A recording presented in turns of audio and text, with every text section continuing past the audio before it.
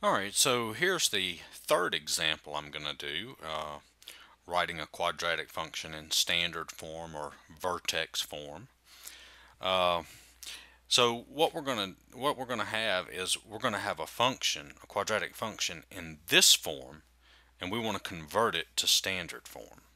Okay, I've got three examples. Uh, each example has its own video. Uh, check, I would check them all out. This is the third video. Uh, these are the problems that I've worked that I that I'll have videos on. This is the first video, this one's the second video, and this one's this video, the third one, example three. Uh, they should be right there by each other. All right, so let's go ahead and get started. All right, so we want to convert this to standard form. So what we're going to do is we're going to take f of x equals negative x squared plus 3x and what I want to do is I want to group these first two terms together and put the constant term out here by itself. And what I'm going to do is complete the square. Okay, I'm going to complete the square on it. But remember, in order to complete the square, I have to have a 1 in front of my squared term. Well, what do I have? I have a negative 1. So I need to factor that out. I need to factor a negative 1 out.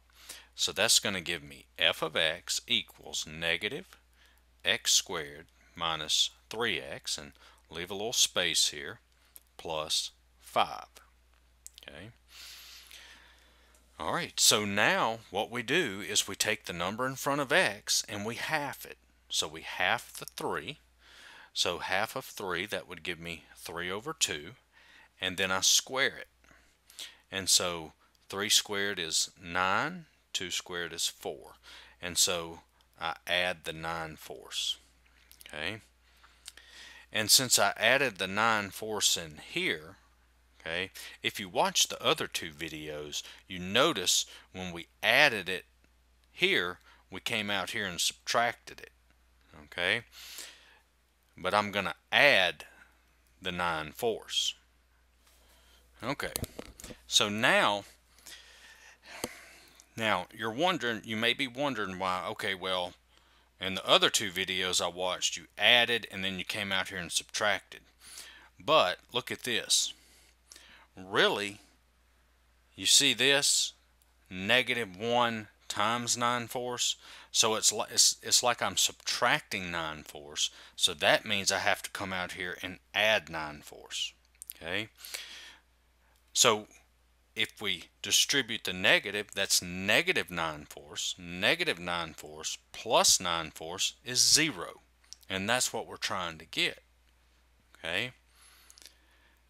So, so when you look at this, you say, okay, well, since I added the 9 fourths, yeah, you subtract 9 fourths.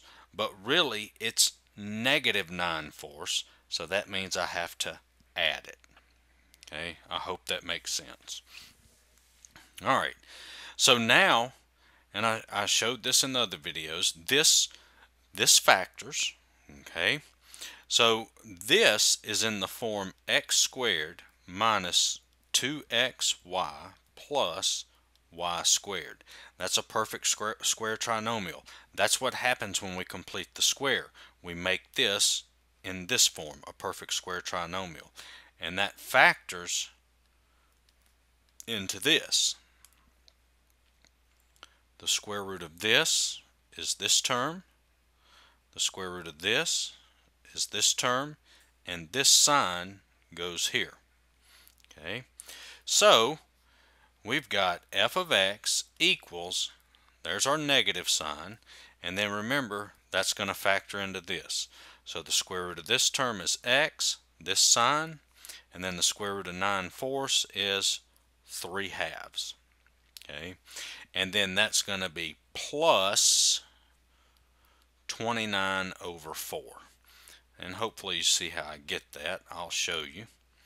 Uh, I'll come here and do it. 5 plus 9 fourths. Okay, that's over 1, so I get a common denominator. of 4. Okay, so I have to multiply 4 to this 1 to get my common denominator. So 4 times 5 is 20 and then that's going to stay at 9 and so we get 29 over 4 and so this is our final answer okay give me a like share and subscribe and uh, I hope the video helped. Check out check out my other videos and thanks for watching